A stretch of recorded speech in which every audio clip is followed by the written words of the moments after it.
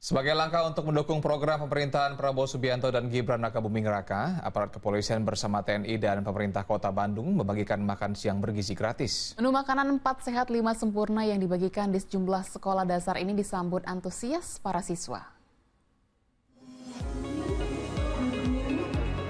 Uji coba pemberian makan siang bergizi gratis untuk para siswa di kota Bandung, Jawa Barat mulai dilakukan di sejumlah sekolah dasar pada Jumat siang. Menu paket makanan di antaranya meliputi nasi, lauk pauk, sayur, dan susu. Para siswa pun menyambut gembira dengan adanya pemberian makan siang gratis tersebut. Program makan siang gratis yang dilaksanakan oleh Kepolisian Resort Kota Bandung bersama TNI dan pemerintah sebagai langkah mendukung program unggulan Presiden Prabowo Subianto dan Wakil Presiden Gibran Raka Buming Raka. Program ini sangat bermanfaat, pelaksananya langsung yang telah kami berikan tepat sekali kepada anak-anak pada saat jam istirahat, pada saat anak-anak membutuhkan asupan gizi yang yang bagus.